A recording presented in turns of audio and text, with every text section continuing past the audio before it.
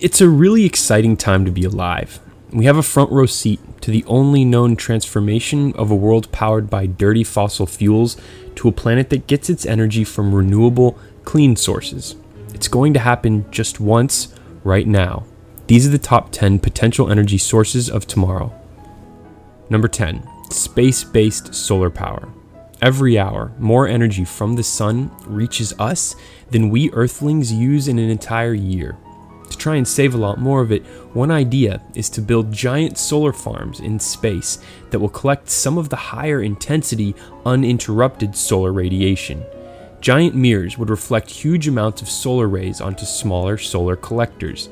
This energy would then be wirelessly beamed to Earth as either a microwave or laser beam. One of the main reasons this amazing idea is still just an idea is because it's, big surprise, very expensive. But it could become a reality in the not so distant future as our solar technology develops, and the cost of launching cargo into space comes way down thanks to the work of companies like SpaceX. Number 9. Human power. We already have human powered devices, but scientists are working on harvesting power generated from normal human movement. We're talking about tiny electronics here, but the potential when multiplied by billions of people is big. And with developers making electronics that use less and less power, one day your phone may charge when it rustles around in your pocket, your bag, or moves in your hand, or your fingers move on the screen. At Lawrence Berkeley National Laboratory, scientists have even demonstrated a device that uses viruses to translate pressure into electricity. Yes, it's amazing as it sounds, and no, there's no way I'm going to try and explain how it works. Of course, it's linked below if you want more info. There are even small body worn systems that passively produce electricity when you move. Human power isn't going to solve global warming, but every little bit helps. Number 8 Tidal power. Harnessing all the energy in the motion of the ocean could power the world several times over, which is why over 100 companies are trying to figure out how. Because of the focus on wind and solar, the tidal energy industry kind of got elbowed out of the early mix, but these systems are quickly becoming more efficient. For one, meet Oyster, a 2.4 megawatt producing hinged flap that attaches to the ocean floor and, as it opens and closes, pumps high pressure water onshore where it drives a conventional hydroelectric turbine. One of those could power a whole housing development or a couple massive residential towers, roughly 2,500 homes. An engineer with the Air Force Academy has created the Terminator winged shaped turbine that employs lift instead of drag, allowing it to theoretically harness 99% of a wave's energy instead of the 50% that current tidal projects can get. And Perth, Australia, just got the world's first ever wave powered desalination plant that provides the city with enough drinking water for 500,000 residents. Number 7. Hydrogen. The element hydrogen, by far the most abundant in the universe, is very high in energy, but an engine that burns pure hydrogen produces almost no pollution. This is why NASA's powered its space shuttles and parts of the International Space Station with this stuff for years. The only reason we're not powering the entire world with hydrogen is because it only exists on our planet in combination with other elements like oxygen. You know, good old H2O. Russia even converted a passenger jet to run on hydrogen in the late 80s, and Boeing recently tested small planes that fly on hydrogen. Once the hydrogen is separated, it can be pumped into mobile fuel cells in vehicles that are able to directly convert it into electricity. These cars are now being manufactured on a fairly large scale, Honda is planning on demonstrating the versatility of its new hydrogen fuel cell car by plugging it into a model home in Japan to power the house, instead of the car sucking electricity from the building like its electric powered competitors have to do. Honda says one of these fully fueled cars could power an entire house for a whole week, or drive 300 miles without refueling. The main obstacle right now is the relatively high cost of these vehicles and the lack of hydrogen stations to refuel them. Although California now has plans for 70 of these stations across the state, South Korea is expected to have a total of 43 soon, and Germany is aiming for 100 by 2017. Number 6. Geothermal heat from underground lava beds. The method of converting the heat rising from the depths of the molten core of the Earth into energy, also known as geothermal, powers millions of homes around the world, including the electricity usage for 27% of the Philippines and 30% in Iceland.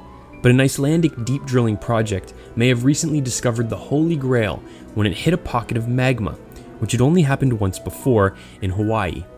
The team pumped water down into the hole, which the scorching magma instantly vaporized to a record setting 842 degrees Fahrenheit. This highly pressurized steam increased the power output of the system tenfold, an amazing success that should lead to a giant leap in the energy generating capabilities of geothermal projects around the world. Number 5. Nuclear waste. Nuclear fission power plants are the traditional reactors that have been in use around the world for decades and provide the United States with 20% of our electricity.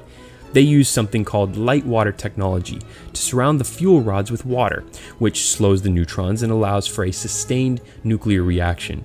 But the system is really inefficient. Only 5% of the uranium atoms in the rod get used up by the time it has to be removed. All that unused, highly radioactive uranium just gets added to our growing stockpile of nuclear waste.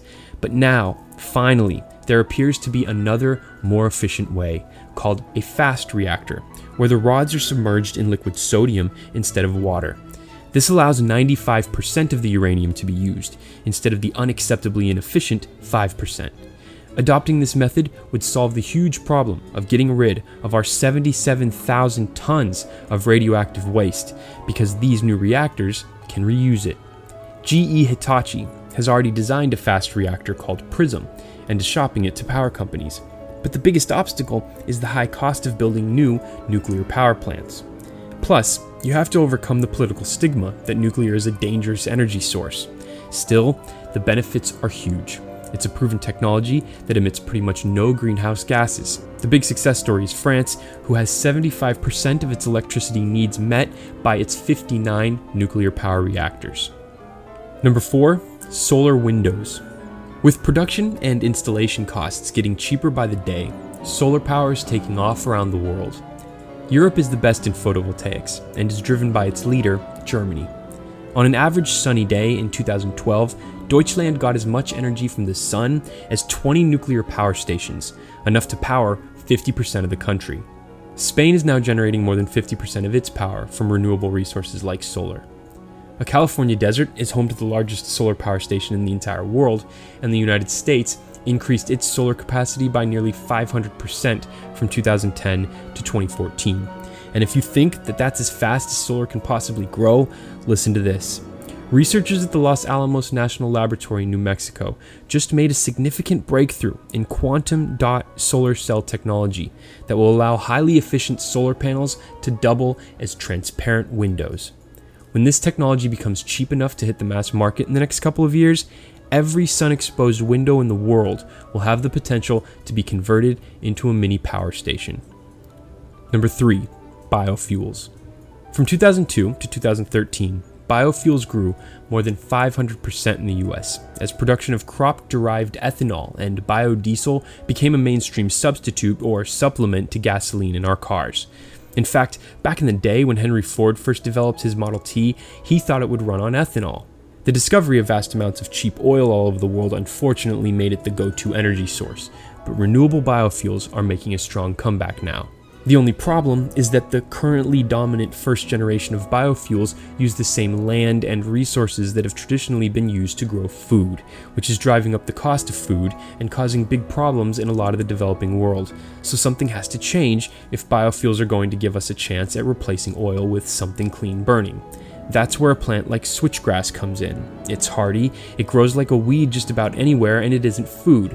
But if we wanted to run all of the world's cars on it, we'd need to plant it on an amount of land equivalent to the entire countries of Russia and the United States combined. So that's not going to work.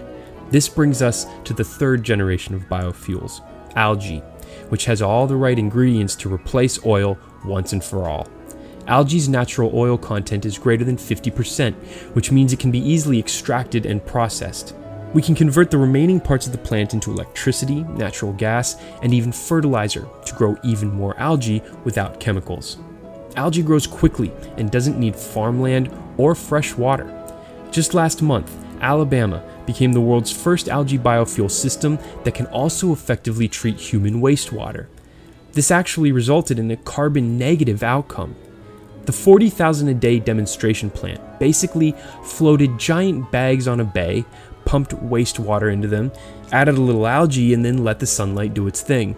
Before long, algae had grown everywhere and cleaned the wastewater so well it could either be released back into the bay or reused by people as drinking water. Number two, flying wind farms. We're already getting a lot of energy from the wind, but with the buoyant air turbine, or BAT, that floats 1 to 2,000 feet above the ground where winds are stronger and more consistent, we could soon be getting that energy much more efficiently. The system is simple a ringed blimp with a wind turbine in the middle is tethered securely to the ground. It'll produce twice as much power as similarly sized tower mounted turbines. It can even handle winds of more than 100 miles per hour and can be fitted with additional devices like a Wi Fi unit, which would help bring the internet to parts of the world that don't have it yet. The buoyant air turbine was designed for bringing renewable wind energy to rural parts of the world, where building a traditional wind turbine was impossible, and will first be deployed in Alaska. It can even automatically detect and adjust its floating height to where the best wind speed is. When the wind speed is dangerously high, the thing will dock itself, eliminating the need for manual labor Flying wind turbines like this should soon replace all the less efficient tower based systems and could allow for the construction of offshore wind farms that have, until now, been really expensive to build.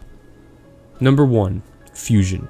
Unlike fission, nuclear fusion doesn't create any deadly nuclear waste because it fuses atoms together instead of splitting them apart, so there's no threat of a runaway reaction that could lead to a meltdown event. But this is easier said than done. One Nobel prize winning physicist described fusion as trying to put the sun into a box. The idea is pretty, the problem is we don't know how to make the box.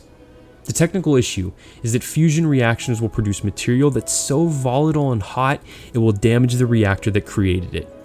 This isn't stopping private companies and governments from spending billions to research the technology and solve these problems. And if the immense challenges can be overcome, fusion will provide virtually limitless energy and power the world. That's why the world's wealthiest governments are collaborating on the controversial International Thermonuclear Experimental Reactor in France, known as ITER. When was the last time Russia, China, Europe, and the United States collaborated on anything? That's how important for humanity this project is, and because of its revolutionary potential, several powerful companies like Lockheed Martin are quietly working on their own fusion reactors. Lockheed has a very optimistic timeline for their system, projecting that they will meet global energy demand by 2050. Their optimism may be fairly justified. In October 2013, in separate research, scientists at the Lawrence Livermore National Laboratory in the United States achieved a huge milestone in fusion when, for the first time, a fuel capsule gave off more energy than was applied to it. Thanks for watching. Let us know if we missed anything or if you disagreed with our rankings. And if you liked this video, help the conversation spread by sharing it.